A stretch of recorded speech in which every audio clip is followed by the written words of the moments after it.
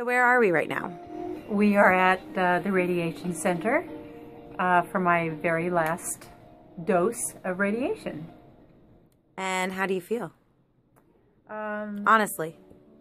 well, obviously, I'm happy to have it all done.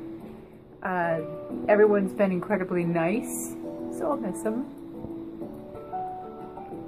And it's a very kind of mixed set of emotions with the last day and kind of re-entering normal again. And uh, knowing that you're not going to have all the doctors looking over you at every moment and that's kind of scary. Yeah they say it's kind of like a separation anxiety and um, just a psychologically challenging uh, time to kind of re-enter normal life again and you're just supposed to put everything behind you and everything is supposed to just be okay and you just of course can't help but wonder did I do enough? Should I do some more treatments? I'm not doing anything anymore for it. And um, do I have to worry about it coming back? Uh, and of course everybody's been rallying around you all the time.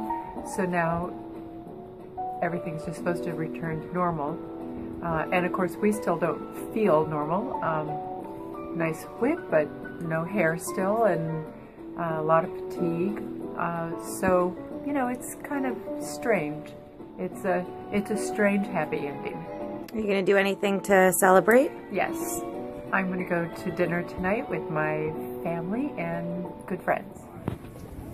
At a place, you know. Exactly.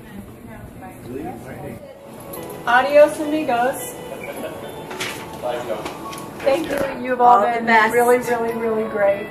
I am holding my lucky bamboo, and uh, everybody who goes through here and gets their treatment, when they end their treatment, they get one. Um, they give us bamboo like this because you have to be a complete moron in order to, for, it to, for to die. Exactly. uh, it stays. So this is going to go in my uh, dressing area in my house, in my bedroom, where I put my makeup on every day, and uh, that way I'll think of all you guys.